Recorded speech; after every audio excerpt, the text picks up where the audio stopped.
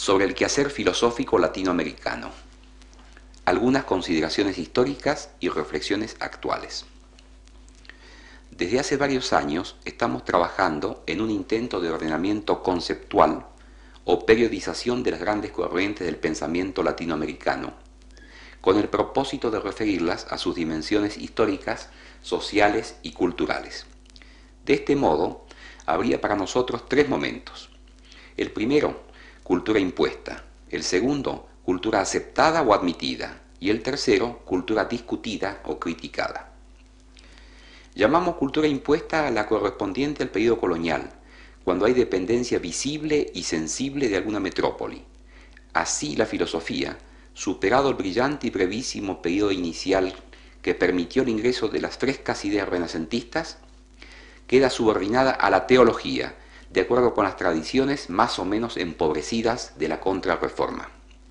Rige entonces, indiscutida, una tabla de valores donde el papel de la filosofía está muy claramente determinado, como también lo está, de alguna manera, el margen tolerable y admisible de las heterodoxias.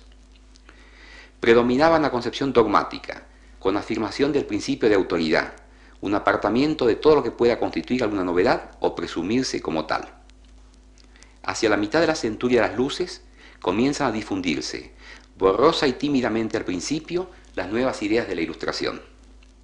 De esta manera, la enseñanza impartida desde las cátedras de filosofía responde, implícita o explícitamente, a una concepción que bien pudo ser considerada funcional y satisfactoria para la metrópoli, pero que en cambio no lo era para nosotros, o mejor expresado, muestra su total disfuncionalidad con respecto a las necesidades y puntos de vista americanos. Aunque refinados análisis contemporáneos revelen en la estructura de aquel pensamiento tradicional algunas fracturas y menor coherencia de la que cabía presumir, en modo alguno constituían los prerequisitos mínimos para lanzarse en una gran aventura como es el filosofar.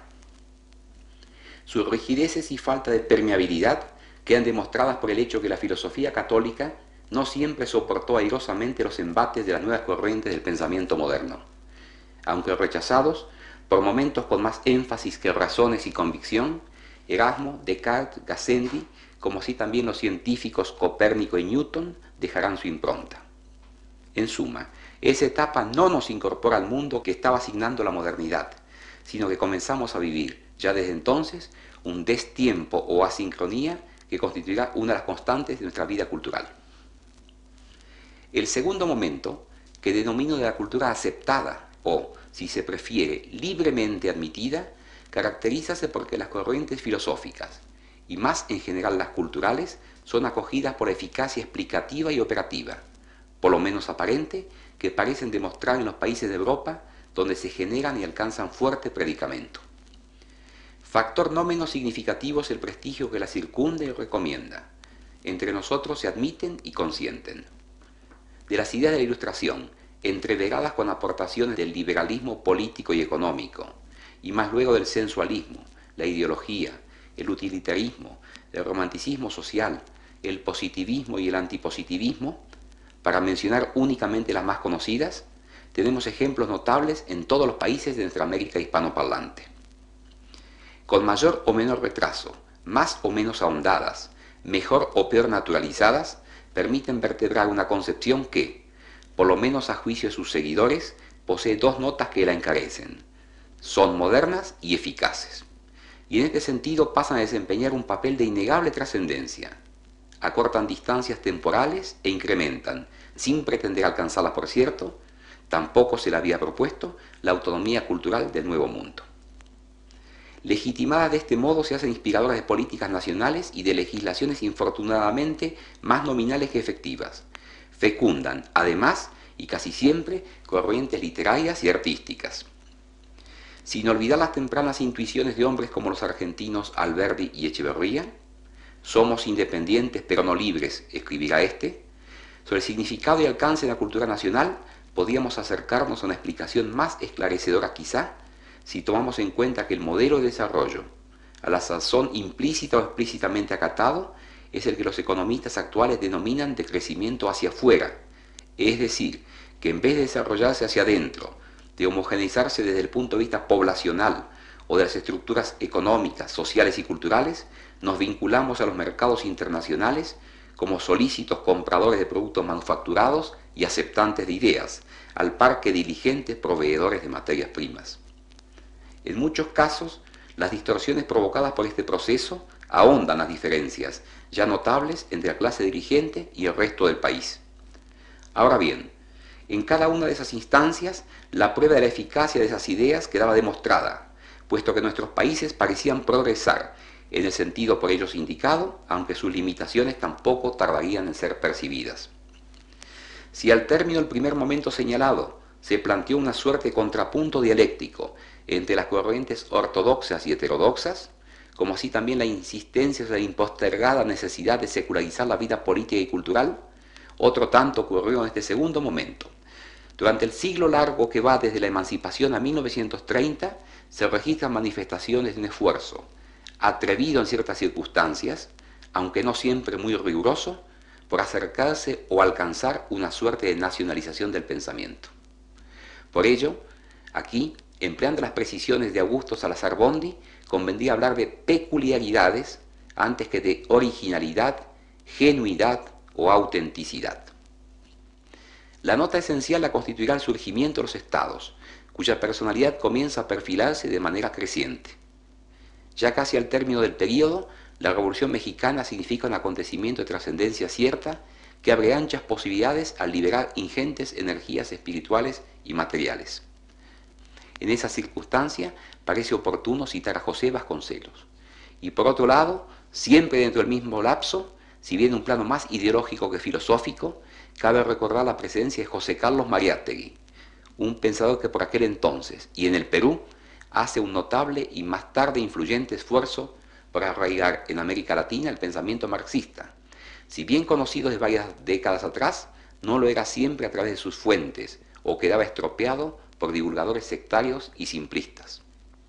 Quizás a los cuatro grandes fundadores, antipositivistas todos, Alejandro Korn, Carlos Ferreira, Alejandro O. Deustua y Antonio Caso, no sea indispensable añadir más nombres para ilustrar las contradicciones que, en el campo de las ideas filosóficas, incubaba el modelo de crecimiento hacia afuera, que paulatinamente mostraría sus limitaciones y debilidades.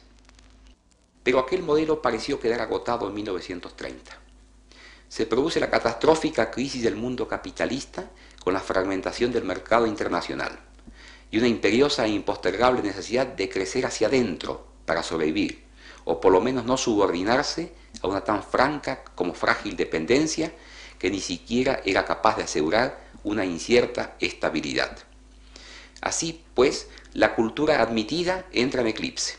El momento siguiente, que nos pareció apropiado denominar cultura discutida o criticada, lleva ya cuatro décadas grávidas de acontecimientos nacionales e internacionales que han quebrado para siempre todo quietismo y entorpecen cada vez más la posibilidad de admitir, de manera pasiva, influencias. Esto no importa negar la perduración de algunas corrientes tradicionales. Se han agravado las tensiones al alterarse las estructuras, caracterizadas por un intenso proceso de urbanización, por el aumento de la saturación rural en casi toda América, por la pérdida de la importancia internacional de nuestras materias primas, por el desordenado desarrollo de manufacturas e industrias, y por endeudamiento financiero y la adopción de pautas ajenas. Pero de aquí tampoco se sigue un incremento de la homogeneidad interna, ni mucho menos. Antes bien, al lado de ciertas islas de modernidad, donde sí parece viable pretender copiar modelos de diversificación, que enseguida se muestran prematuros y gravosos, se advierten océanos de marginalidad.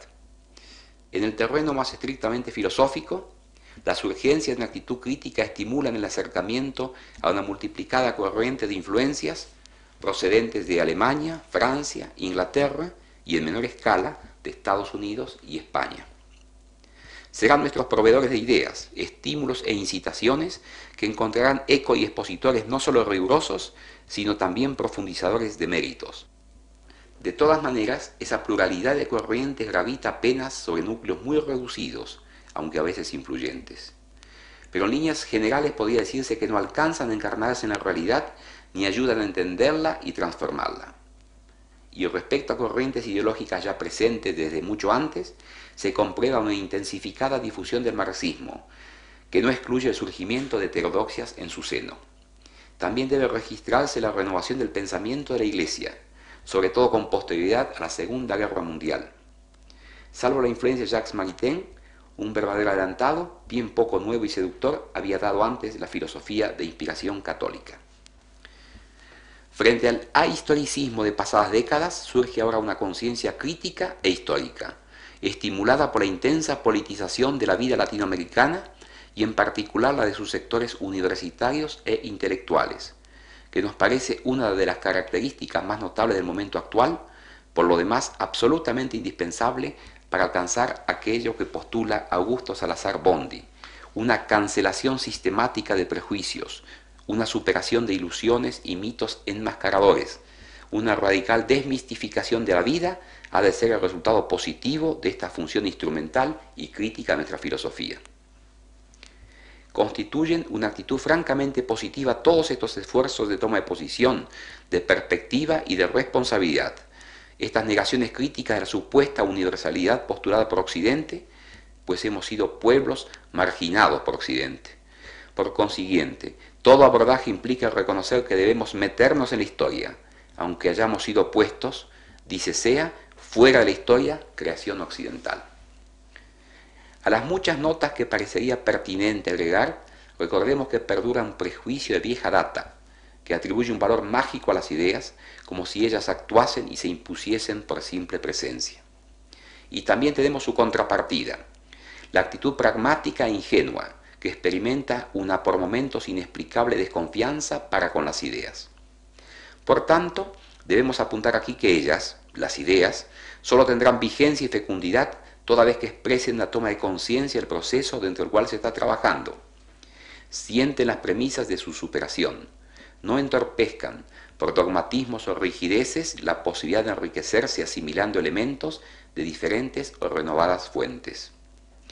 Otra forma de alienación que aún perdura, aunque no demasiado importante, sí sugestiva, consiste en la atropellada, superflua y malsana utilización de anglicismos, galicismos, germanismos y demás, cuando no idiotismos, con los cuales se mortifica casi siempre y necesariamente nuestro idioma, amén de la utilización de grafías que realmente no merecemos.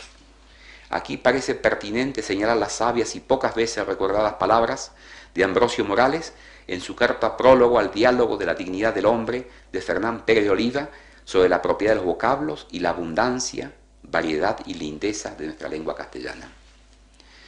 De lo que hasta aquí llevamos dicho, harto escuetamente por cierto, podría deducirse que estas actitudes, inferidas como un denominador común del proceso histórico, constituyen la condición necesaria, pero no suficiente, para el desarrollo de un pensamiento latinoamericano autónomo y auténtico, es decir, la actitud del verdadero creador.